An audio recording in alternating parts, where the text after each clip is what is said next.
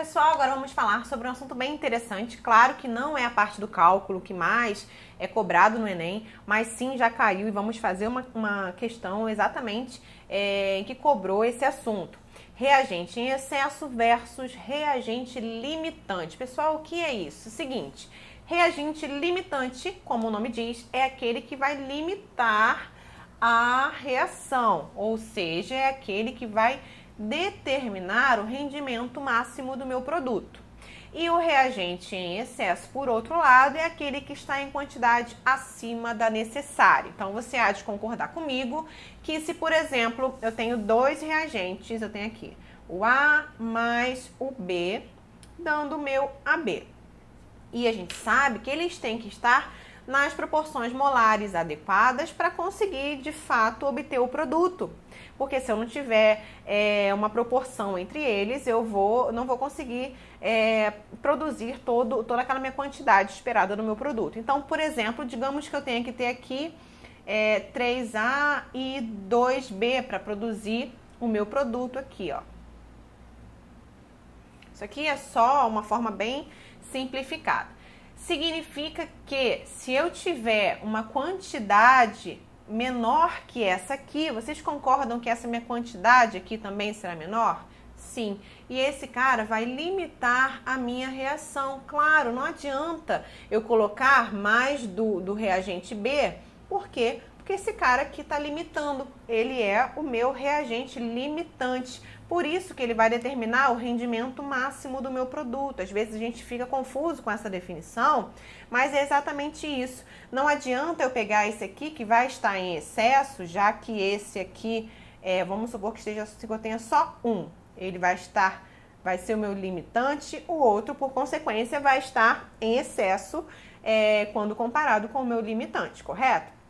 E aí é ele que vai dizer o meu rendimento máximo. Não adianta eu colocar mais esse aqui, eu não vou produzir mais, eu dependo desse aqui. Então, é ele que vai ditar, é ele que vai falar, olha, só vou render isso aqui porque eu só tenho isso para fornecer. Já o meu reagente em excesso vai ser justamente aquele que vai estar acima da quantidade é, necessária, vai estar em quantidade acima do que, do que realmente precisa. E aí você vai falar, para que eu vou colocar uma quantidade a mais? Às vezes, é, laboratório, na prática, a gente precisa colocar um reagente em uma quantidade maior para que realmente eu consiga ter, é, fazer a reação acontecer. Mas isso não é importante para a gente com relação ao Enem. Vamos então ver como que a gente resolve questões envolvendo reagente em excesso. Seguinte, pessoal, primeira coisa a gente tem que verificar qual reagente está em excesso. Pode ser que ele falhe na reação, na, na, na questão? Pode ser, mas é muito difícil. Quando acontece isso, quando cai uma questão envolvendo reagente em excesso, reagente limitante, a questão que é justamente é, que você saiba calcular isso. Quem é o cara que está em excesso e quem é o cara que está limitando é, a minha reação. E segundo, fazer os cálculos com base no reagente limitante. Por quê? Porque é ele que vai determinar o meu rendimento máximo. Ok, pessoal? Então, uma dica super importante. Como que eu sei que a questão está trabalhando com reagente em excesso e limitante? Na questão que nós vamos fazer do Enem, ele já fala isso. Ele já fala que tem um carinha que é limitante, tem um cara que está em excesso e tudo mais. Mas e se não falar? Ele pode não falar? Sim, pode não falar. Como que a gente vai saber? Pessoal, quando ele fornece, anota isso aí, fornece a massa de ambos os reagentes. Esse é o macete para a gente identificar quando a questão trabalha reagente em excesso e reagente limitante ele vai te dar, a gente vai resolver essa questão, ele vai te dar justamente, olha, esses dois reagentes, esse aqui está com 100 miligramas desse e 80 miligramas desse. Não tem necessidade da gente saber dos dois, a gente só precisa saber de um para relacionar com o produto. Se ele falou dos dois, é porque ele está batendo na tecla, está dizendo para você, ó, tem um aí que está em excesso. Descubra ele, porque o outro, o limitante, vai limitar a sua, a sua produção e você tem que basear os seus cálculos nele. Vamos então ver como a gente aplica isso. É bem tranquilo. Seguinte, pessoal, vamos lá com um exemplo bem basiquinho. Diz assim: Na reação abaixo, determine o excesso de reagente entre 4 mol de SO2 e 4 mol de O2. Eu coloquei isso aqui só para a gente entender o conceito, porque é bem difícil que o Enem cobre dessa forma. Vamos lá. SO2 mais meio de O2 me dando SO3. Primeira coisa, balancear a reação. Coeficiente estequiométrico já diferente de 1 indica que já está balanceado. O que, que eu tenho aqui, pessoal? Vamos lá. Vamos, a gente precisa entender a, a, a equação química. Seguinte, eu tenho aqui ó, 1 mol de SO2 mais meio mol de O2 vai me dar 1 mol de SO3. Tranquilo, eu tenho isso aqui, ó.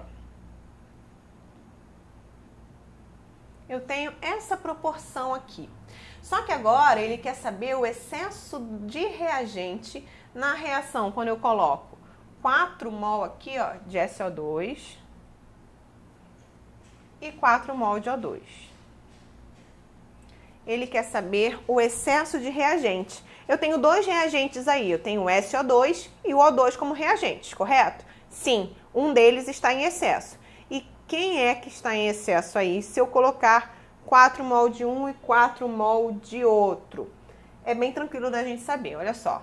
Para cada 1 mol de SO2, nessa minha reação, eu preciso de meio mol de O2, concordam? É o que a minha reação aqui está dizendo. Eu tenho 1 mol desse cara para meio desse. Se eu tenho agora 4 mol de SO2, quanto eu deveria ter? Eu multipliquei aqui por 4, certo? Então, quanto que eu deveria ter aí de oxigênio? Deveria ter X. Fazendo isso aqui, é só multiplicar meio por 4, que é igual a 2. Ou seja, pessoal, eu tenho essa proporção aqui. Se agora, eu, ao invés de 1 mol, eu coloco 4, e aqui também coloco 4, alguém vai estar em excesso. Que alguém é esse? o oxigênio, porque olha só, eu, eu multipliquei isso aqui por 4. Multiplicando isso aqui por 4 também, eu deveria ter só 2 mols. Tendo 2 mols, eu já conseguiria produzir aqui, ó, ia produzir o meu, ia produzir 4 aqui também, ia passar a ser essa proporção. Só que ele colocou 4 mol agora. Opa, então vocês concordam comigo que 2 mols de oxigênio vão reagir. Que bom que eles vão reagir. E 2 mols de oxigênio estão em excesso. Certo?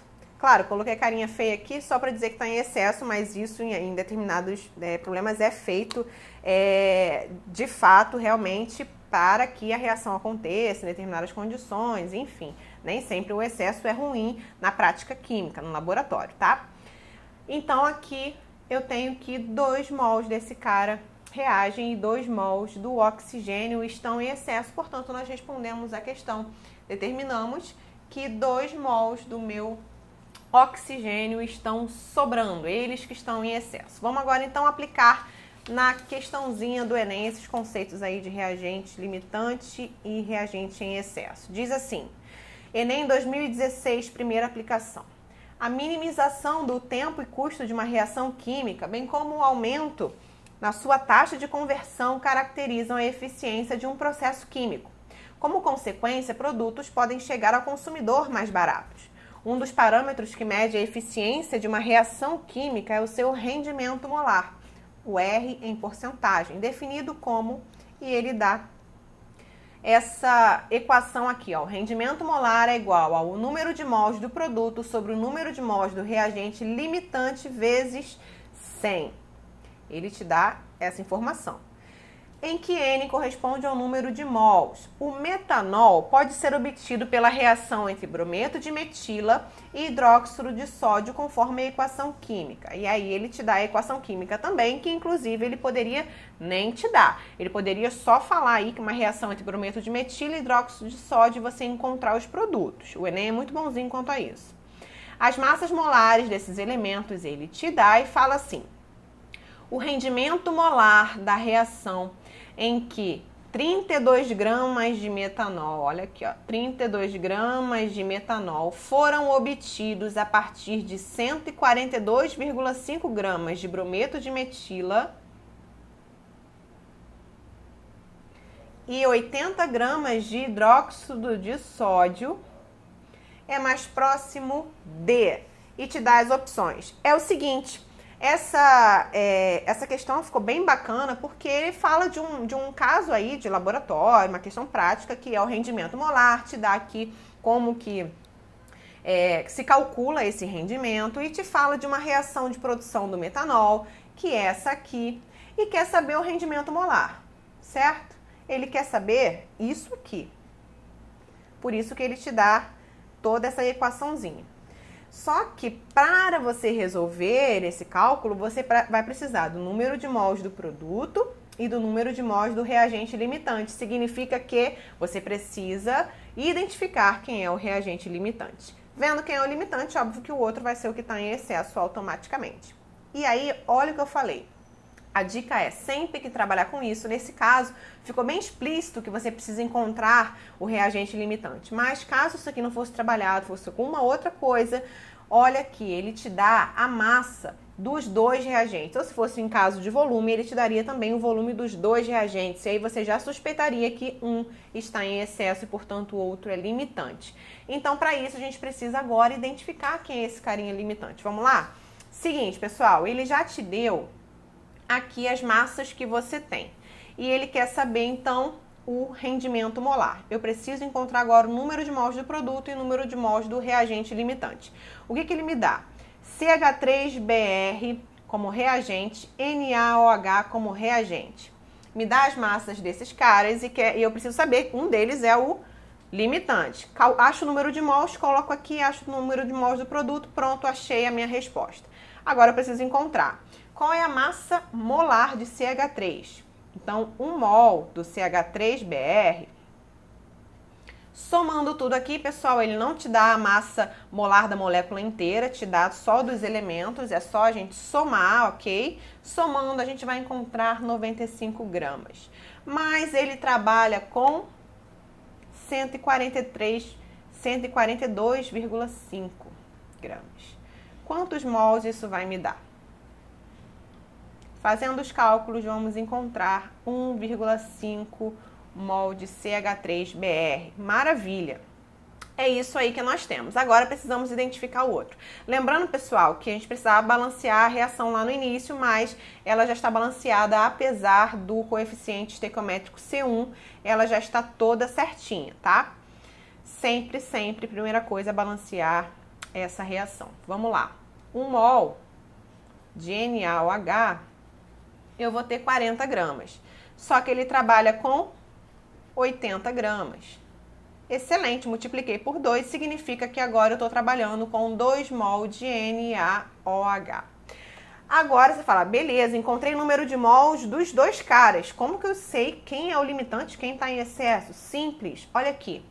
Vejam que eu tenho a proporção 1 mol do brometo de metila para 1 mol do hidróxido de sódio. Eu tenho a proporção de 1 para 1. Concordam comigo? Sim. Só que agora eu tenho 1,5 aqui, ó. E aqui eu tenho 2. Opa!